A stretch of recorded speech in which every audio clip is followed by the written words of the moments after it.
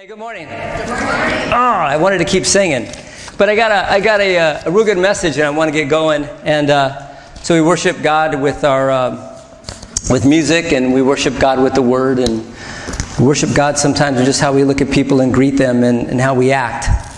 Which leads me to this topic.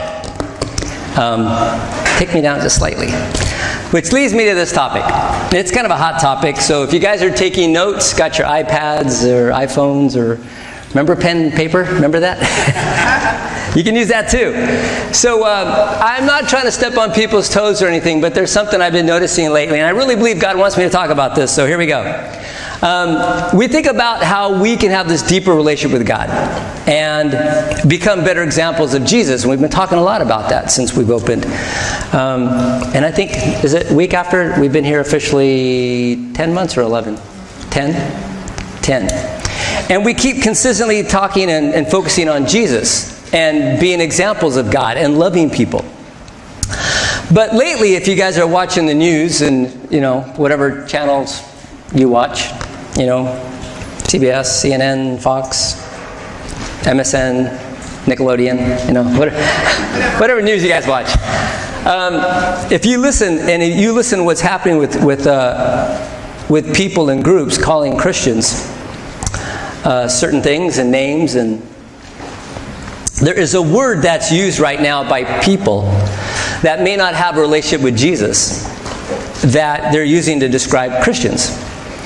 And it's even a word that, um, that Christians, unfortunately, will call other Christians when we look at them and we're kind of disappointed in their actions or they're not acting the way we think they should be acting.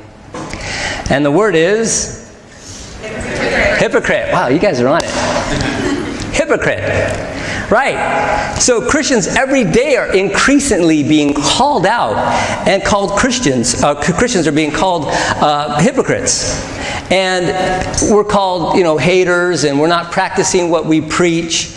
Um, groups say that, you know, you Christians, you guys preach about love and you preach about, you know, loving everybody, but yet you, you disagree with so many groups. You disagree with so many people and things that are going on in the world, and we don't understand that. Therefore, since you don't accept everything, you guys are hypocrites. I love going to the Webster's Dictionary. I'm going to give you this definition. The definition of, hip, of hypocrite is it's a noun, person, place, or thing, although sometimes can be used as an adjective for all of you English majors. Um, a person who puts on a false appearance of virtue or religion. A person who acts in contradiction to his or her stated beliefs or feelings. A person who claims or pretends to have certain beliefs about what is right, but behaves in a way that disagrees with those beliefs. That pretty good? That's what your understanding is? Hypocrite? Yeah. But pay attention to the word pretends. Okay? Pretends. That's a big word. The biblical definition and the original meaning of hypocrite comes from the Greek word hypocritai. I just learned that. And means stage actors, right? Someone who's acting, playing a role, being phony. Remember that word pretend, right? Then once nobody was watching them, they go back to being who they really are, their true selves. So if you really look at the word hypocrite and you focus on the words pretend and role play and you know phony, let's go right to what Jesus said. We read why Jesus talks about hypocrites and who he was talking to, and who he was referring to, and how he was using the word hypocrite. When Jesus was teaching and ministering to people, he had a few confrontations. That's one thing I just love about Jesus. You know, everybody looks at Jesus and he was very loving, he was very sweet and kind and gentle, but Jesus had some righteous anger. Jesus raised his voice on occasion. Jesus definitely believed and knew what he was saying was truth. And he wasn't afraid to let people know that. I love that. So, Jesus is talking to these religious leaders, these Pharisees. Not all of them, but a lot of them. Jesus was challenging them, these religious leaders. See, Jesus knew the scriptures, and he made sure that, um, that the people that were preaching the word, whether or not they were really holding true to the word or not, he called some of these Pharisees hypocrites. See, because they knew the scripture too. They knew God's word. And they made sure that they followed every single detail. Everything. They got up at this time and they ate this stuff and they prayed at this time and they treated people exactly this way, exactly to the letter of the law. The issue was they didn't put themselves to those same standards. They thought themselves as above everybody else. They were pretending and purposely acting above everybody else. They puffed themselves up. They didn't have care and compassion for the people that needed love and mercy and forgiveness the hungry, the poor, the sick, the ones that were overwhelmed by life's issues, the ones that are just getting beat up so much by life they were just giving up. The Pharisees would walk around and demand respect for being so holy and better than everybody else and righteous. So let's be clear regarding Jesus' definition of hypocrite. Matthew 23 128. I'm going to skip around on here. I'm going to hit the, the main points. Verse 1. Then Jesus said to the crowd and his disciples, the teachers of religious law and the Pharisees and the official interpreters of the law of Moses. So he's telling the people, all right, see these Pharisees? Practice and obey whatever they tell you because they're reading the Word of God. But don't follow their example, for they don't practice what they teach. They crush people with unbearable religious constraints and demands and never lift a finger to ease their burden. Verse 5 Everything they do is for show. Verse 13 What sorrow awaits you, teachers of religious law, and you Pharisees, hypocrites! For you shut the door of the kingdom of heaven in people's faces, and you won't go in yourselves, and you don't let the others enter either. Verse 23 What sorrow awaits you, you teachers of religious law, and you Pharisees, hypocrites, for you are careful to tithe. That's giving money to support God's house financially. Even the tiniest income from your herb gardens, but you ignore the more important aspects of the law justice, mercy, and faith. Couple more here. 28. Outwardly, you look like righteous people, but inwardly, your hearts are filled with hypocrisy and lawlessness. See, Jesus was calling them out for being two faced, for knowing the Word of God and purposely, as hypocrites, purposely puffing themselves up and making it all about them rather than all about God not giving mercy to people, not loving people who really needed help, not having this real compassion, this real mercy and grace for people that are in trouble. They use God's laws for their own purpose. So, yes, in the large group of followers of Christ, and being human and with sin and messing up, are there people who know better and use the Word of God to make themselves look good? Yeah. To consciously take glory from God for their own gain. This is why Jesus was calling some of the religious leaders hypocrites. See, but Jesus was focusing on these people that purposely pretend and with an intent to play act or put themselves in this visible place in front of people to puff themselves up and to be something that they really are not. So the thing is, what is everybody talking about nowadays? They're calling us Christians as a whole. They're calling us hypocrites. All of us, because we believe in the true Word of God. So are all Christians hypocrites? Some people think so. I'm not going to advertise this site, but it's pretty scary if you look at it. There's this website that's anti Christian. I'm not going to tell you what the name of it is. And the sole purpose of this website is to tell Christians and others just how how much, and trying to use kinder words, how much full of it we are because we say one thing and do another. I'm going to read you. This is the title of the very first paragraph, and I think this is pretty much what we hear every day. Christians are hypocrites. They love to talk about how loving, dutiful, and compassionate they are, yet I have yet to meet one who does not practice hypocrisy to the highest degree. Their willful ignorance of the Bible combined with their two faced idealism, idealism to preach it has made us sick. Hasn't it? For nearly 2,000 years, biblicists have been lecturing people on the importance of adhering and staying to the Bible's teachings regarding ethics and manners and morality.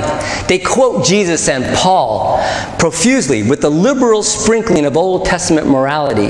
The problem with their approach lies not only in an often note failure to practice what they preach, their hypocrisy is so rampant that even the validity of calling themselves Christian is in question. I know, pretty tough, huh? Man. Well, I got something to say.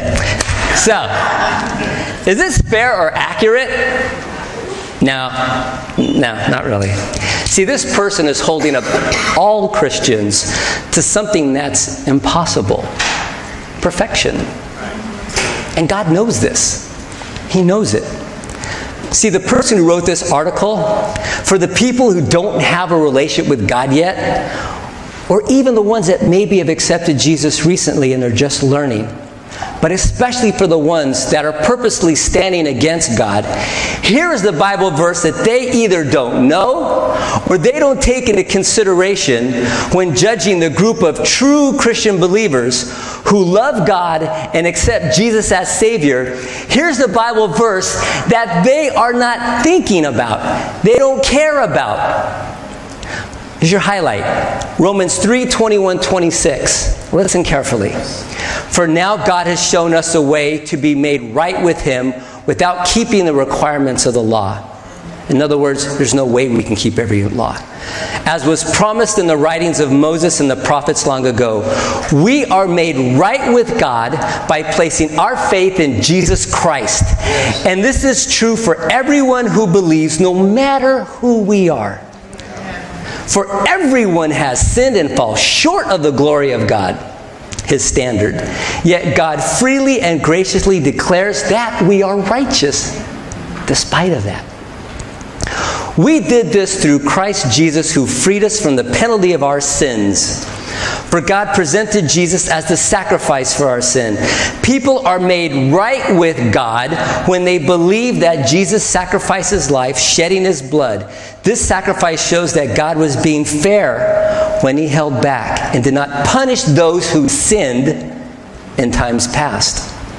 For he was looking ahead and including them in what he would do in this present time. Listen, God did this to demonstrate his righteousness. For he himself is fair and just, and he declares sinners to be right in his sight when they believe in Jesus. In other words, hey, we don't do it on our own. We'll mess up. Anybody mess up? Me. Every day. Every day. You know, we try our best. We really do. And if we fall, if we make a mistake, are we hypocrites? No. That's not the definition. That's not Webster's dictionary, and that's definitely not Jesus' definition of hypocrite. See, God knows perfection is impossible. That's why He gives us mercy and grace and forgiveness and redemption and an acceptance despite our faults. That's why Jesus went to the cross. He took it all upon himself. Like that bumper sticker, sticker says, yeah, Christians are not perfect. They're just forgiven. If people are really not sorry for their sins, not really repenting or asking for forgiveness, they try to manipulate the Word of God for their own glory, to puff themselves up, to put on a show, to pretend. Then Jesus calls those people hypocrites, like some of the Pharisees at that time. Followers of Jesus who fail to perfectly live up to the Word of God and have fallen at times are not hypocrites. No Christian has ever been perfect, and no one will ever be perfect. Someone who tries to make a mistake, someone who's trying really hard but makes a mistake and blows it once in a while and then gets back up and tries again is not a hypocrite. That is not what Jesus meant. Listen to this part. Jesus did not call his disciples hypocrites. He called them my followers, my sheep, my church. He called them my beloved. Okay, at the beginning of the message, we gave the definitions of the word hypocrite. the definition of hypocrite is not, I have to read this. Someone who does their best and occasionally makes a mistake or a bad judgment call, or hasn't learned everything possible, yet gets back up and does his or her best to do better the next time, while earnestly trying to become a better person according to the Word of God. Yes, that's right. Yet, that's what the world thinks a hypocrite is. Here's to the point, if I haven't been to the point yet. Yeah. Most Christians who are sincerely trying to please God and live according to His Word allow God to teach and direct. Amen. And we believe in all of God's Word or we believe in none of it. It's true from the first word to the last, whether people think so or not. God's validity, God's uh, word, His validity does not depend on what we believe. That's right. And when, not if we mess up, that doesn't mean that God's word is not true.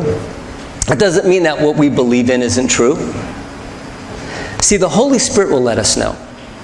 We don't need to let people tell us when we mess up, we know it. Holy Spirit convicts us. We feel in our spirits that we've messed up. And then God gives us the strength to change and grow and improve and reduce as much as possible the chances of us messing up again. And though we try our best, despite our mess ups, our mistakes, our sins, and being imperfect human beings, we learn Romans 5 8. But God demonstrates His own love toward us, in that while we were still sinners, Christ died for us. While we were still sinners, Christ died for us. Jesus has that kind of love for you. And it's really hard for people nowadays to see it. Jesus is misrepresented. Somehow he's not cool enough or not relevant enough. Or we get most of what we learn from Jesus from news and media. So, those people that say, well, if God is so forgiving while you were yet sinners, then why don't you guys just live the way you want? Do what you want. Treat people the way you want.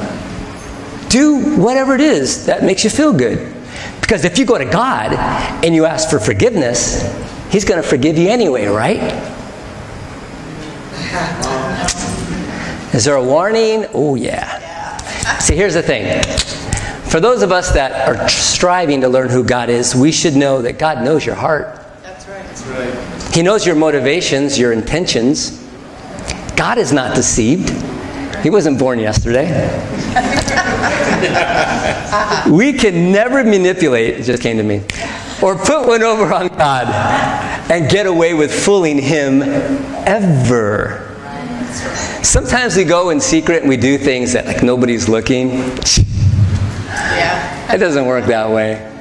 It's like nowadays, people at work, you know, they may uh, take something home from work or something, they get caught, and usually because what's watching them? The camera. The video cameras, right? So just picture God kind of like this video camera everywhere you go. But it's a good thing. Because the reason why is because God's watching us. He cares about us. He loves us. He wants to make sure we're okay. He's there not to be this controlling. He's there to say, Do you need me? I'm right here. I never leave you. I never forsake you. Please don't walk away from me. See, I told the story before, I think. We've been here almost a year, so I may repeat a story or two. This is relevant. I knew this girl in high school. The sweetest, just prettiest little thing. She was so sweet. And I, I dated her when um, she was in the ninth grade, I was in the 11th grade. Really kind. And her, her dad was, um, was a minister. Really nice girl. We dated for a while, but after high school, we, we lost touch with each other, and I hadn't seen her for a couple of years. Um, I, I was in college. I was walking, you know, through the campus on my way to like lunch or cafeteria or something, and I saw her. I went, "Wow, wow! Um, hey, girl, not to be named. Uh, how are you doing?" And and we sat down for a while and we started talking, catching up. She was telling me she was in this relationship, and she was a little different. And I was at a point in my life where I was kind of hitting a stride. I was doing well with my relationship with God. I was I was doing better than most times. And she was telling me, um, She was talking about this relationship that she was in and how the relationship had turned sexual. And I kind of looked at her and said, Is that really a good idea? You know, um, we were just talking, and, and I was trying to tell her that may not be a good idea right now because we know better. Because we were in high school, we used to go to Bible studies together, and I was trying to hold her up to what the Word of God said. And she looked at me and she says, Well, you know what? I know what's wrong, but we really like it. And doesn't God have to forgive me anyway? Luke 16, 15 through 18. Jesus talking to the Pharisees again. Then he said to them, You like to appear righteous in public, but God knows your hearts. What this world honors is detestable in the sight of God. Clear cut. Now, look, I've been very upfront since we started. We're human, we're going to mess up. None of us are where we need to be right now. None of us, including me. So if you're going through some stuff and you're not yet where God wants you to be, you know what God really wants? He wants you just to be on the right track. Amen. He wants you to wake up every day and say, God, I want to be better today than I was yesterday. And when I wake up tomorrow, I want to be better tomorrow than I am today. God wants you to continually strive to be holy, to please Him. So, how do we not become these hypocrites? The ones that are phony and pretend, the ones that call us hypocrites. How do they see us differently? Well, I got a few things for you. In God's Word. Number one, know what God is saying to you. Know the truth. John 8 31 to 32. Jesus said to the people who believed in him, You are truly my disciples if you remain faithful to my teachings. And you will know the truth, and the truth will set you free. Amen. See, a couple things. Read God's word, learn it, recognize God's plan for you. And as you grow, not become perfect, but as you grow, take a stand and say, Now I know better. And it's time to back up my words. Number two, work on yourself and let God work on the other person. This is a big one for us Christians. Don't have to raise your hand, just kind of spiritually raise your hand. Matthew 7 3 through 5. And why worry about a speck in your friend's eye when you have a log in your own?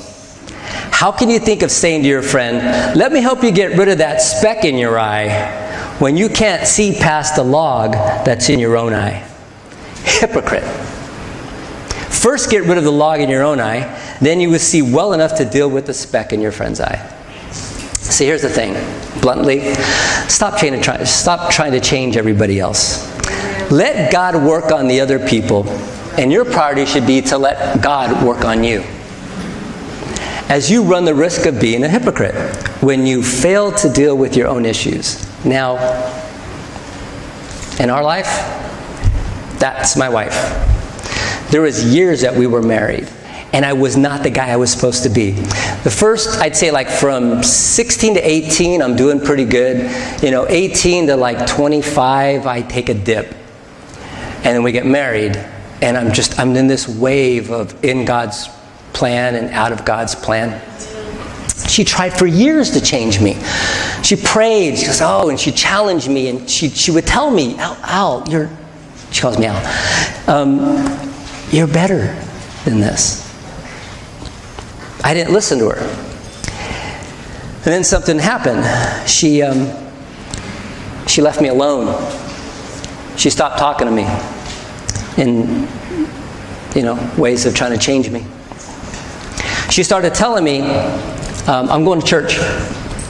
See you later. And she'd walk out. I'd see her pray. I'd see her be different. She was stronger, yet gentle. She was challenging me without condemning me. I saw that. And what she did was right. She let me go. She said, God, He's yours. And she worked on herself. That is what changed me. Number three, don't beat yourself up. Don't beat yourself up if you fall, if you mess up. We do that way too much. We're too hard on ourselves. Lamentations 3:22 to 23. The faithful love of the Lord never ends, and his mercies never cease. Great is his faithfulness. His mercies begin afresh every morning. And I didn't see that before, but we connected with that song. It's so cool.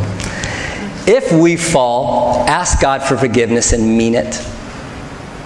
His mercies begin afresh every single morning. Get back up and try your best again. That means yesterday's sins can be forgiven and forgotten, and you have a fresh start if you need one. If you generally wake up in the morning and say, God, today's your day, I'm going to wake up in a God mood. Number four, be the same in the dark as you are in the light. Psalm 139 12. 139 12. To you, the night shines as bright as day. Darkness and light are the same to you. See, God is the same day or night. We need to strive for that. See, God stays that exact same. We need to be consistent. We need to try to walk with God every moment of the day, every night. Whether we're alone with other people, why should we change who we are and how we act just because we're around our coworkers or some friends or people who may not know the Lord, but we want to fit in and we don't want to intimidate them. So suddenly we start acting a different way, we start talking a different way. The whole coworker thing gets me sometimes because um, it's on camera, so I got to be careful. I had this great experience. I saw not a prideful moment for me, but I saw a very proud moment for God's people last week. See, there was a time where I worked for a company, not the one I do now, but the one I, I worked for a company, and boy, they influenced me so bad. My lifestyle was ridiculous. I don't even want to repeat. Just horrible. I let all these people influence me. I was so weak, and I knew better. I knew better. So I went to this company picnic this last week. I went to this company picnic, and this friend of mine who's a pastor at a church in Sacramento comes up to me and says, Hey, I, I wanted to talk to you. I saw him at a training last month, and we connected. So we start talking, and we're out in this park, and there's like, you know, 80 people or whatever, and we're having a barbecue, and everybody's, you know, talking about work and whatever. And he says an elder in our church last week went to Minnesota to a conference and at the conference had a major heart attack. He's only 42, he's in a coma. The doctors say that there's no brain activity. He's got six kids, ranging from 3 to 13. God bless the mom. And she has to fly out there to tell the doctors, pull the plug but she's not going to. He says, Can you pray? I said, Oh man, absolutely. So we got off the, this, this grass area that we were in. We went and stood in the shade, and I saw this friend of mine that I knew was a fellow believer. I go, Oh, I, I need two or more to pray for this man for healing. So I, I ran over, and she was talking to my boss. I said, Excuse me, you know, I'm sorry to interrupt you guys, but can you come pray with us? Not my boss, but to the person I knew. She goes, Yeah, sure.